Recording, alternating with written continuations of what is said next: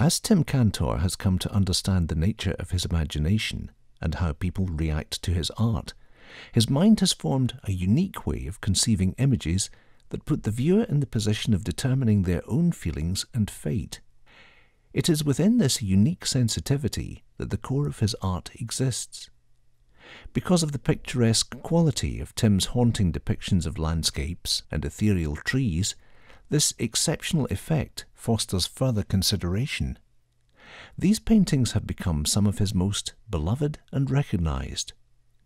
At first sight, they catch the eye with their tangible beauty, but deep within each reflective composition, he tells an intense and compelling story through his vibrant portrayal as well as his evocative writings.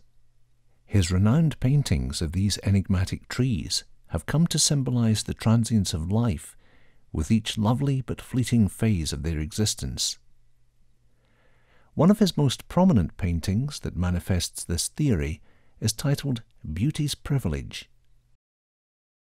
Among the shattered branches and tree trunks in Beauty's Privilege, life thrives and illuminates the dormant setting. To give the tree ascending motion, Tim painted the crimson-coloured leaves soaring upwards toward the sky.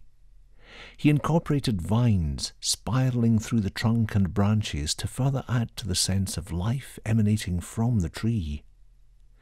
Beauty's privilege is a profound study, entirely expressed through organic nature, in which Tim Cantor rendered an emotional impression of loss, love, and ultimately finding beauty in the midst of tragedy.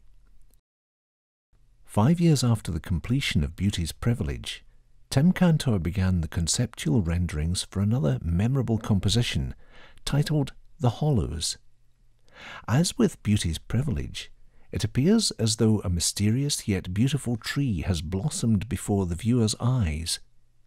It is a vibrantly rich representation of a growing twisted tree with delicate white blossoms spiraling, taken with the wind.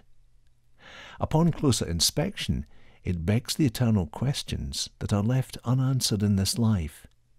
Found deep within its evergreen setting, the solitary white tree is an indication of hope that one day we might come to understand why.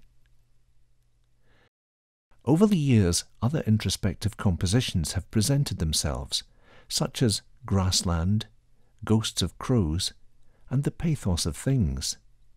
These three paintings take a more personal, insightful journey for both the artist and the viewer. Grassland deliberately conveys the importance of fighting to live each moment to the fullest, while Ghosts of Crows shares a touching story about the ones who have left us and how they will continue to live on within our memories. The pathos of things derives from the Japanese saying mono no aware, which in its literal translation means awareness of things.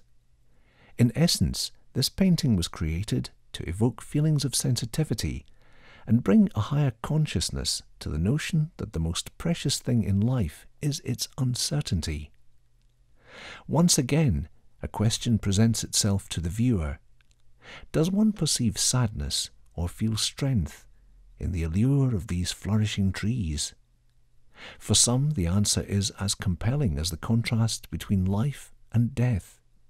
Simple beauty becomes exceedingly appreciated because Tim Cantor has rendered us the reminder that things age, they may become harmed, and inevitably they do die. Quintessentially, his enduring compositions impart a vital message to feel fortunate and cherish life while it is in bloom.